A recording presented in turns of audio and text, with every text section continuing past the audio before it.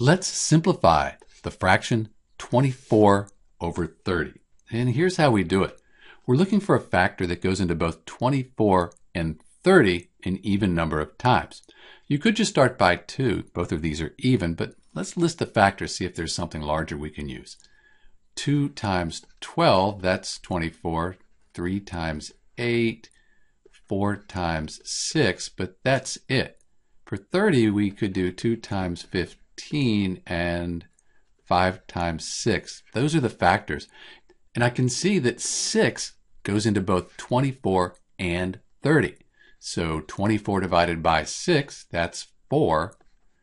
And 30 divided by 6, that's 5. So when we reduce or simplify 24 thirtieths, we get 4 fifths. These are equivalent fractions. If you put these in your calculator, you divide 24 by 30, you get 0.8. If you divide 4 by 5, you get 0.8. These are equivalent fractions. It's just that when we simplify 24 thirtieths, we end up with 4 fifths, just different numerators and denominators. Same value though. This is Dr. B. Thanks for watching.